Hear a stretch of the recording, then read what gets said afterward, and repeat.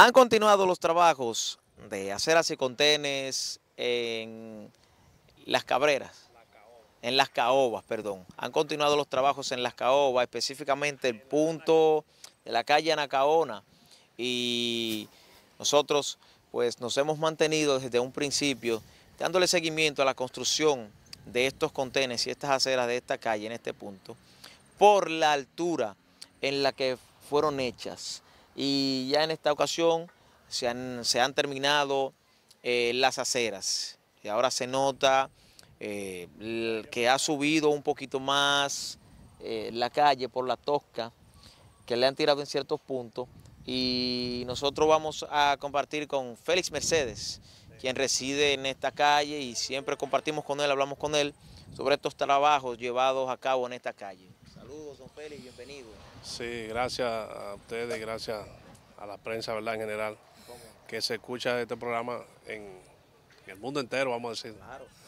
Eh, para mí ha sido un poco ajetreado el, sistema del trabajo aquí, tanto como a la comunidad que es la iglesia del Pastor Cadé, porque nosotros eh, hemos sufrido mucho esta parte.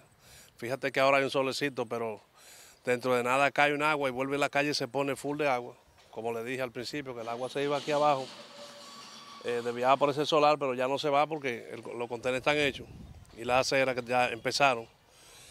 Pero el trabajo sigue lento, no sé cuál es la razón, porque yo vi calles que... Dice que no hay dinero. Bueno, no sé, porque yo veo calles que hay ingenieros que empezaron una calle, la terminaron, y la encalicharon, la pavimentaron de caliche y terminaron su trabajo. Esta calle ha dado muchos problemas, no sé cuál ha sido la razón, si es problema económico o qué pero le hacemos un llamado nuevamente a, la alcaldesa y que, los chelitos aparezcan para que esta calle sea realizada y que se haga un sueño realidad, lo que es el sector La Caoba, que va a ser un éxito esta calle, porque fíjate que viene derecho esta calle ahora, donde la guaguita tenían que hacer un codo ahí, volver de nuevo y cogerla Dios con nosotros. Ahora esta calle va a salir casi ya al Colmado Roble, donde va a ser una ruta derecho y bien cómoda para el tránsito vehicular y, el transporte urbano que tenemos en la zona. Por lo menos ahora se puede caminar por las aceras. Correctamente, fíjate que por lo menos podíamos salir en, ocasiones cuando empezó el trabajo, nosotros tuvimos que quedarnos dentro de la casa porque no podíamos salir a la calle, ni ir al colmado, la esposa mía se cayó, la, la, la, suegra de, mi hija se partió la mano así que se fue con el niño allá en aquel hoyo y se partió una mano producto de estos trabajos. Pero eh, nada, todo se ha resuelto y lo que queremos es que ya le den el, fin, que ya den el, el, visto bueno de que esta calle se termine, ¿verdad? Hemos tenido quejas precisamente de eso, don Félix, de que algunas personas eh, habían resbalado y caído. En, este, en, estos puntos específicamente. Sí, mira, se, cayeron unas cuantas personas, eh, hablándote como te dije de la señora que se le partió la muñeca que tuvo unos días enyesada y unos días de, licencia por trabajar en los hoteles, que es la, suegra de, mi, de, mi, hija. Y esos fueron casos que otros niños que se cayeron también. Aquí en la, escuela, lo que es la iglesia, que tú enfocas la puerta del templo, aquí esta gente no podían entrar porque había unas pilas grandes de, esta cuestión de toca. Pero ya gracias a Dios el ingeniero han realizado esa parte y le pedimos al ingeniero y a la alcaldesa que por favor que no culminen con esto aquí, porque que si llueve, vuelve y se nos llena todo de agua. Y que los demás que se acuerden de la malena, que hay muchos hoyos, muchas calles sin entablear. No sé por qué, mire, esa calle de ahí al lado paralela está preparada con acera y apavimentada. No sé cómo se bota tanto asfalto para allá arriba. Y aquí en la Malena la calle están todas llenas de hoyos y sin asfalto. Que cojan para la Malena, que aquí sí necesitamos asfalto. Aquí se necesita. asfalto en la Malena y lo que proclaman y lo, que son directivos de junta de vecinos. No sé por qué la Malena no está metido esos aparatos y yo veo que para allá arriba se están botando, oye, poniendo eh, eh, asfalto, sobre... asfalto donde no, donde no manda asfalto. No entiendo por qué, cuál es la razón. No sé si es que el gobernador, no, porque el gobernador vive aquí en La Malena.